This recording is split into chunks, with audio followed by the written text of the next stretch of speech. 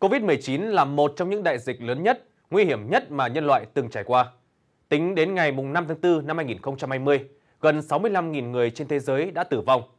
Chính lúc này, đất nước Việt Nam, chế độ chính trị xã hội tại Việt Nam đang được dư luận khắp Nam Châu cảm phục vì đây là một nhà nước thực sự vì con người, một xã hội đầy tính nhân văn.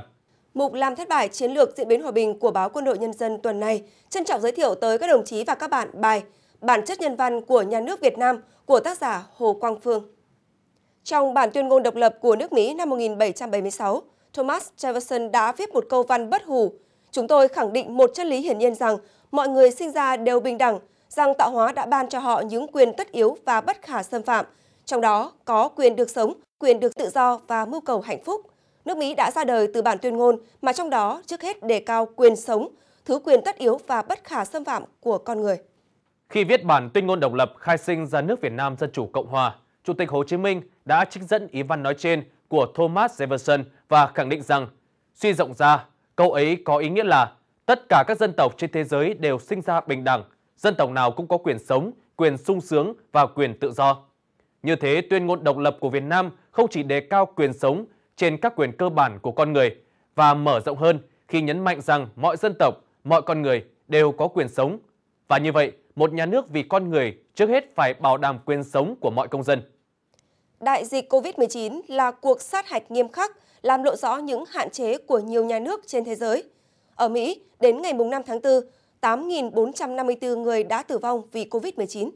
Thậm chí, quan chức Nhà Trắng còn dự tính nước Mỹ có thể mất tới 240.000 người do dịch này trong những tháng tới. Nhiều nước phát triển khác cũng điều đứng vì dịch bệnh này với hàng vạn người tử vong – như Italy đã có 15.362 người tử vong, Tây Ban Nha 11.947 người tử vong, Pháp 7.560 người tử vong, Anh 4.313 người tử vong.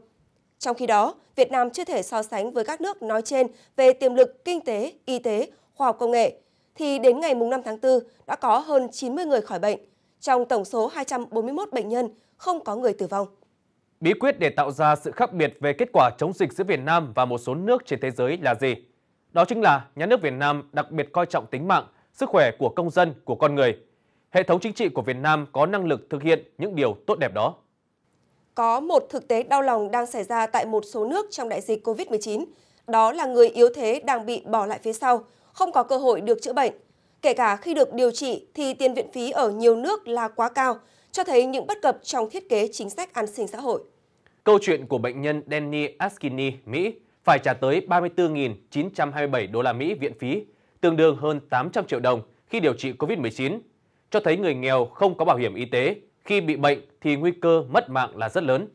Theo ước tính tại Mỹ, có khoảng 27 triệu người không có bảo hiểm y tế. Những người không có bảo hiểm y tế e ngại khi phải đi xét nghiệm COVID-19 vì sợ nếu mắc bệnh phải trả viện phí cao rồi lại cố đi làm vì sợ mất việc. Đây cũng là một trong những nguyên nhân quan trọng khiến dịch lây lan mạnh ở một số nước. Khi quyền sống, khi tính mạng, sức khỏe không được bảo đảm thì mọi thứ trở nên vô nghĩa.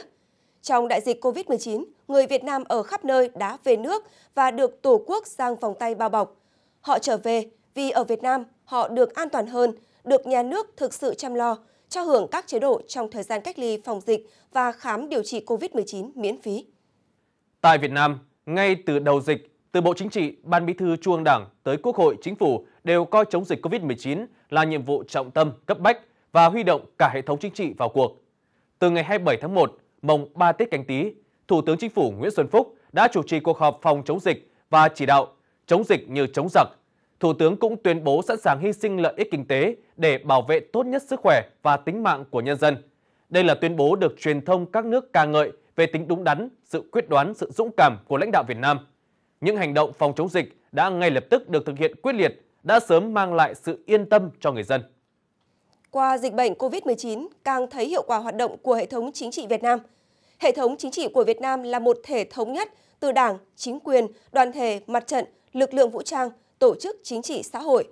Hệ thống chính trị đó không chỉ bám rễ vào từng thôn bản, khu phố, từng gia đình mà còn ở trong mỗi con người – tạo nên nhận thức đúng đắn, là cầu nối, là sợi dây gắn kết vững chắc toàn xã hội.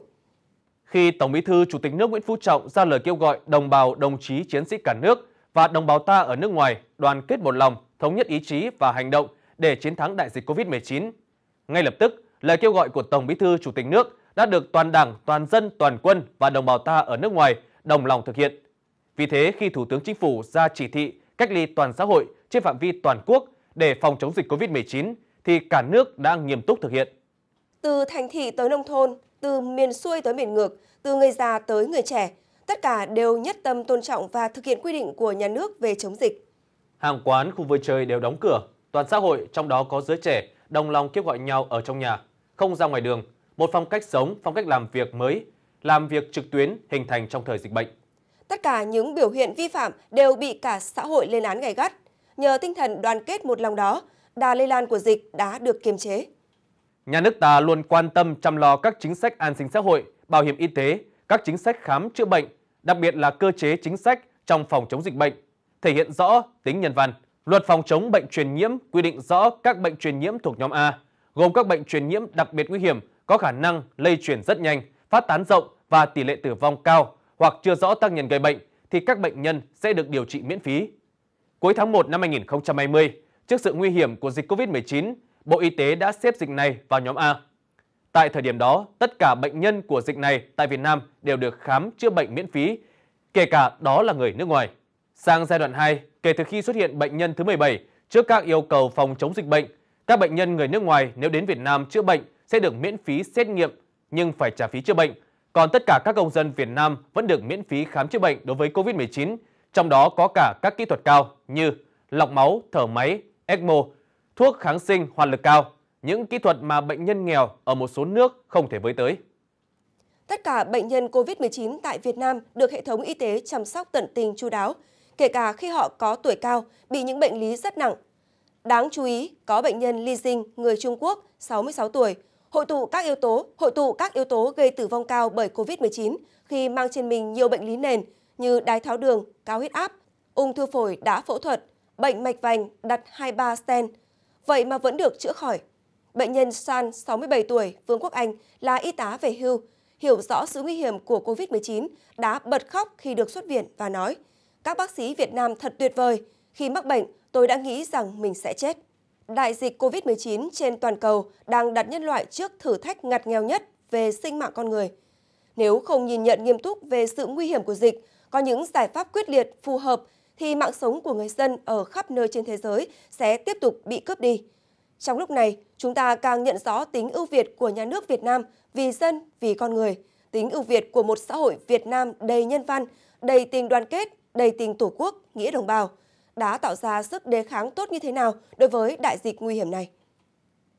Chủ trương chính sách và hiệu quả thực tế của cuộc chiến đấu chống dịch COVID-19 thời gian qua đã thêm một bằng chứng mạnh mẽ bác bỏ những luận điệu sai trái của các thế lực thù địch về cái gọi là vi phạm nhân quyền tại Việt Nam. Chúng ta không chủ quan với dịch COVID-19 vì vẫn còn chủ quan với dịch COVID-19 vì vẫn còn nhiều yếu tố khó lường, cần phải tiếp tục nêu cao ý thức mỗi người dân là một chiến sĩ để đẩy lùi dịch bệnh. Tuy nhiên, với những gì đã diễn ra trong thời gian qua, mỗi chúng ta càng thêm vững tin vào sự lãnh đạo sáng suốt của Đảng và Nhà nước, vào sức mạnh đoàn kết của cả dân tộc, vào con đường phát triển của đất nước. Chúng ta tin rằng đất nước ta, dân tộc ta sẽ sớm vượt qua thời khắc đầy thử thách của dịch COVID-19, phát triển bền vững, trường tồn.